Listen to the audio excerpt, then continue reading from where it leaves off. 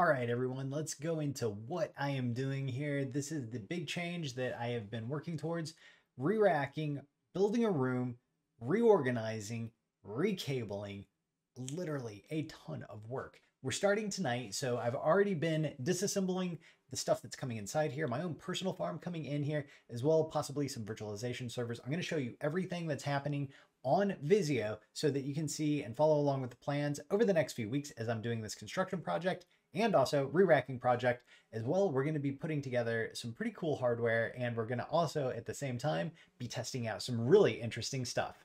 All right, so at first we're going to be doing the following changes in the garage. So this is a wall that'll be built here, way to keep some of the noise down. It's also going to allow greater directionality of the airflow, or so the AC, window AC unit here blows in this direction that will allow it to have primarily contact directly on the face of these servers on this rack and these JBODs. You're going to like this arrangement that I've got. I'm going to show you guys some stuff that's behind the scenes that you haven't seen. I haven't been doing a ton of rack talk recently, but we're about to be really deep into the Chia farm, and we're going to be covering a shitload of rack stuff as a result of that. So up here, we're going to continue on the 45 degree angle, and then we're going to have it go over here and this little nook that's here eventually will be like for uh, washer dryer. For now, it's actually going to, after I move the half rack in here, we may move the half rack back out there temporarily. We're just gonna have to see what the noise level's like on the half rack before we make that judgment call. Clearing off the workbench, gonna have two nice monitors up here. Going to have probably the best part of this all a very large table in the center here, going to have two drop spotlights over it, so we'll get really good lighting, and three fixed camera mount position spots, so we can get really good shots from a variety of angles on what is actually happening on the workbench. So we can pop something on there hardware-wise, check it out, and be playing with it and get really good video all at the same time. And so this is in the garage. This is a weird garage conversion. Uh, it is interesting because the way that I've kind of engineered this here, I'm not actually going to have to take the garage doors off, but we are going to be doing some weather sealing around the garage doors. I've already been doing some around this window here, but we're going to cover all of that when we get to the weatherization part.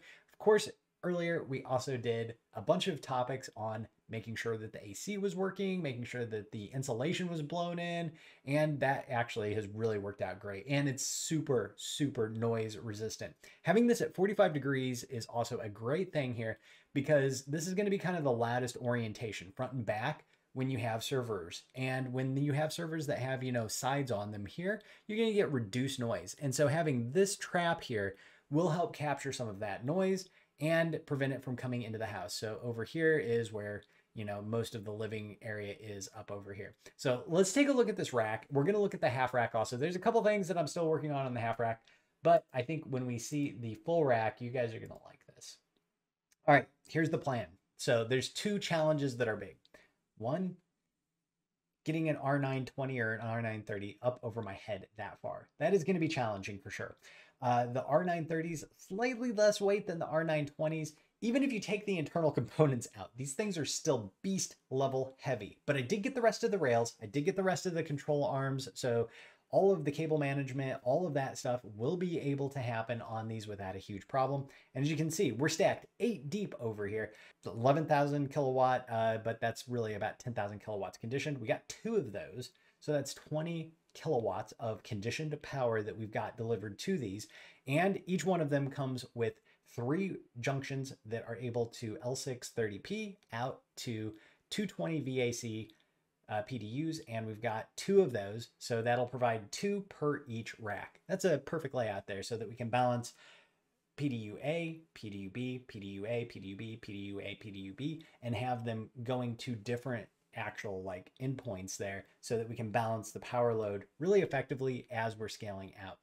All right, so one big challenge getting these above chest level. It's going to be a brutal thing. Uh, I don't know what to say other than it's going to be interesting. So make sure you hit subscribe because I might be getting crushed uh, live. Who knows? Uh, also, we're going to take a look here at some of the things that are going on further up. I've got my R2102 up here. I don't think I'm actually going to put that up there. Maybe, maybe not. It might just be a blank up there. It doesn't seem like it's really needed. So that's one thing that most of the gear that's coming inside the house will be doing. I mean, already all of the networking stuff happens like the router, the switch, the cable, modem, all is inside the house here. It all goes out to a DMARC. Got a structured media panel, breaks out from there and goes over to the server rack. So we will continue doing that, most likely, is my guess. So here we see that we've got the 5548P. This is the PoE Dell Power Connect. This needs to stay on all the time. Uh, these guys over here, the R920s and R930s, they do not stay on all the time. Those eat too much electricity. Even when the switch is turned off, they like power actually needs to be disconnected or they will still eat like almost 100 watts each. So unacceptable for that to happen. We've got, uh, this is not the Patch Max, uh, but it's a similar size and it's a similar kind of thing. These are the finger grommets so that I can run cables down in and up in from the Power Connect 5548. And this is going to be connecting to mainly the house infra and it'll also connect to all the power infra so that I can remote switch on all the power infra for the R920s and R930s if I need to kick them on. As well, we've got the Mellanox 6036. This is our 40 gigabit switch, does both Ethernet and InfiniBand. InfiniBand going to become really important. I'll show you guys why. Uh, but also the Brocade ICX 6610. Uh, this is also a power monster. So having both of those powered down when they're not in use is something that'll save me a little bit of electricity because both of those are really specialty switches that will be mainly in use whenever I'm really cranking on the R920s and R930s. And this is a really, I think, better layout to have than what I have currently because right now it's just a mess. I can't shut off anything without creating giant problems. So having this engineered, and I've got some pretty good lists here of what needs to be plugged in where, I don't think I'm to put them in Visio. It seems like it's too much work to put them in Visio. I also am scared to do a network diagram because I'm just too lazy. And it's a lot of work. Uh, but I should do a network diagram. Here we've got the R520 and underneath that the R720 XD. R520 is probably going to just you know, continue running as Unraid. The R720 XD most likely goes over to TrueNAS. That could get reversed. I don't know. We're going to see. Uh, going to keep the KVM. Like the KVM, KVM, pretty damn useful. Underneath that, we've got the R420, and this is, I mean, the other cool thing about TrueNAS, TrueNAS like RAM, and the R720 XD's got like 448 gigabytes of RAM in it. So that is a really fast write buffer. Uh, and then I also have those three 900p Intel cards. That's pretty exciting. I, am fun. I, I, have so much fun with those cards already, and I'm just going to have a, a, even bigger blast when I put them into TrueNAS. I have a feeling. Performance on ButterFS is a RAID 0. Eh. Uh, performance is ZFS. We're going to measure it, so we'll have A and B, and we can run some different tests and see what kind of performance differences we get. If you wanted truly the best performance, F2FS is probably what I've seen being the fastest go-to on those particular cards. And just a single device is like wicked fast with F2FS. Um, underneath this R420, uh, that's, yeah, it's a noisy machine, but it's also, yeah, you know, it's a bunch of 2.5s and I've got a bunch of 2.5 drives. We also have the T620 here. This one I'm debating leaving out there. I'm also debating bringing it in here so that I could plug in more GPUs and put it back to what its original intended purpose was, which was virtualization machine. So a little bit of a conundrum right now as far as what I'm to do with the 5950X. I like it. It just doesn't have as many PCIe lanes as I need. So literally they've done this kind of stuff so that they kind of force you into, hey, you want to be a prosumer? buy the Threadripper. Um, and I just would rather buy a server personally, but server loud. So um, send off. Let me know what you think. Like it, Threadripper, there's no way that I can figure to get an actual like couple of extra cards in a 5950 setup and get the same speeds that I was after. Maybe, maybe the X570 Taichi board, somebody told me could do a pretty good job. So I might go that route. I don't know. We'll see. But also, we're about at the end. Like this month is the end. So if you got a 5950X and you're thinking about maybe going to Raptor Lake, like I'm kind of thinking about going to Raptor Lake, uh, you might want to consider whether or not you get rid of that at this point in time. Could be about the best time, the last best time that you would have for that particular generation of hardware. Underneath this, we've got a monster, and you'll see video of me moving this monster by myself. Uh, this monster is a tape drive, and this is a tape library that is heavy as shit when it's loaded up with tapes. And it is about 250 terabytes of storage. Great thing about tape libraries is that they're slow. No, that's not the great thing about tape libraries. The great thing about tape libraries is that they can be turned off and still maintain the data for 30 years. Uh, it is actually about six gigabits per second, best case scenario, writing to that. And that is per each one of the drives. And this thing can hold four drives. I've only got one in it currently, but with the price of LTO5 coming down and with the amount of LTO5 tapes that I've got, maybe I end up actually putting a couple more drives in it. Maybe I upgraded to LTO6. I know the software in this particular one, uh, and this is an MSL variant. So there's most all everything is like an MSL variant, which was I think BDT Corporation out there that manufactured those. And then people like HP bought them and other vendors bought them. Essentially, underneath the hood, it's pretty much all the same stuff. And then down underneath here again, we've got the P, uh, the 9PX, and that is the 11K unit with the uh, nice breakout that it's got there and just one battery pack. Each one of these just has one battery pack. And I'm going to talk about that in the context of why I left a gap here. Tell me if I'm about to make a huge mistake here. Now, this is what should be really exciting to everybody who's following this channel. Do you see all those 60 Bay JBODs there? InfiniBand. Uh, not Fiber Channel. Fiber Channel couldn't get that to work. InfiniBand. So these are the NetApp DE6600s this is very similar to what you might see in the MD3060E. However, they've got different control modules on them. That appears to be the only thing that's the difference. Those control modules are pretty expensive. So finding out a way to make them work without that so they don't have to go to SAS has been something that I've been endeavoring on. I ended up just leaving some space at the bottom here. This is possibly in case I want to put another couple of battery packs. Uh, I don't know. Maybe I should move them down. I I really don't know. You sound off. You let me know what your thoughts are on that in particular.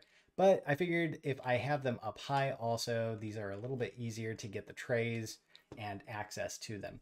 Getting getting the trays up here, the discs up there, will be something that is like a ladder endeavor. Uh, these racks are right, you know, at 42 U's, hmm, right about seven foot, seven foot and a half or something like that. So not not not a little bit shorter or taller than I am. So that's something that'll be interesting. We'll see. We'll see how that all shakes out. Okay, and what's coming inside here? So these are 2U PDUs at the bottom of my StarTech 25U uh, rack. These are not Eaton. I just couldn't find the ones for APC. Uh, so I've got two of the APCs. They're the RMU 1500Xs or something like that. So those are down there. Those are nice. Um, they're switched. Uh, no, they're not switched, uh, but they are metered and they have switched groups, but they're not individually switched. So I, I can turn on like a whole group or turn off a whole group. But above that, I'm going to have the DS4243 and the DS4246. In between there, I'm going to possibly just leave some gaps here. And the reason why I'm going to leave these gaps is so that in the future, if I want to, I can come back and put additional of these units in here. Now, what is the big difference between how you access a SAS and a block storage device? So let me talk really quick about some things that I've learned here. So block storage, kind of like iSCSI. Uh, if you've ever dealt with iSCSI, you either have a great feeling about it or kind of maybe a mixed bag feeling about it. Uh, and I kind of had a mixed bag feeling about it. So I was really hesitant to engage in using it in the way that I would need to engage in using it for this particular project. However, that changed just because of the cost factors of doing it other ways. So these wonderful 60 bay JBODs are going to be essentially block storage that I'm going to be mounting through InfiniBand on them. So that's different. And once you do that, that essentially is not necessarily like you can just take drive out, move drive somewhere uh, you're going to have some underlying things that have happened on the block storage level that the drive is accessing. Now, if you're all in on something as far as a technology, that shouldn't be too big of a deal. And if you've got multiple of them, I don't see that being a problem at all. And as a matter of fact, this is the way enterprises scale out is block storage devices on either fiber channel or InfiniBand or some sort of a SAN technology. So all in all, not that bad. Uh, actually, step up if you want to look at kind of the complete package of throughput that you'll be seeing. Most all of everything I'm doing right now is ButterFS file system, so there's going to be a shitload more ButterFS videos out there that we're going to be putting out.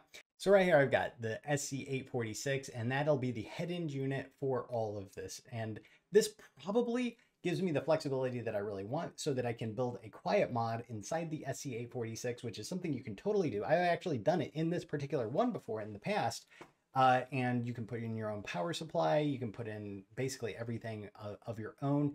And that'll allow me, if I put in my own power supply, to have my own uh, PCIe connections that are going to be robust based upon whatever chipset that I'm selecting which I was hoping to move the 5950X into that and have that be the virtualization machine that powers kind of the house. That doesn't look like it's really going to pan out to be a easy decision to make. So that one's got a lot of question marks on it for me. Now, also here, I've got my cloud router switch and this is my MikroTik. I'll probably pop that in here, but have it facing backwards and that'll provide the connectivity that I need here. Now, another cool thing is I've got my AV unit. So probably put that up there. I couldn't find the AV unit stencil. So this is a stand-in for my Marantz uh, AVR. Now there is one thing that I need to account for that I haven't quite got figured out here on this particular layout. And that is I have an external amp that goes to the head end unit here. So maybe there's enough room for me to back face the cloud router switch because it's actually pretty thin uh, and then put the other uh, power amp in front of it. I think that actually will work. I hope that'll work. Um, and this doesn't have sides, so if I need to, you know, get in there and stuff on the sides, it's much more accessible than, say, getting into the middle of the sides here, which is pretty much impossible. So sound off, let me know what you think about this plan. I've already started moving the SC846. I already got this thing unloaded off of this. This was on the half rack and holy cow. Uh, but I'm going to have some more videos coming up around this. All of the framing, all of the building, all of the insulating, all of the electrical that goes into making this thing happen will be covered here over the next week. And so that is the plan for the rack reorganization. You can see this half rack pretty bumping. As a matter of fact, I am really digging this half rack layout that I've got here. And having 540 disc trays over here is something I'm looking forward to as well. All right, everybody, make sure that you sound off. Let me know what your thoughts are on this. If there's anything that you see here that you think I'm going to kill myself, let me know about that also. These guys over here, these are 920s, 930s, getting them up over my head. I don't know how that's going to happen. It'll be interesting. It'll be very interesting. All right, everybody, make sure you hit subscribe and like. And later tonight, we've got coming up interview with Intertown, all of the stuff he's been building in the Chia ecosystem. And tomorrow, we've got our weekend Chia wrap up, big weekend Chia, a lot of stuff happened, and I'll be covering some of the technicals around the 1.5.1 release that I did not get a chance to get into yet the other day. And also on Sunday, we've got questions answered. So if you have questions, make sure you comment in the comments below or on any video, and I will go through and wrap those up. I usually am going to try to cut that off at midnight and make sure that I get in everybody. If I have missed anybody, feel free to post it again because I think I missed about a day the other week. Yeah. All right, everybody. Check you guys next time and have a great rest of your day.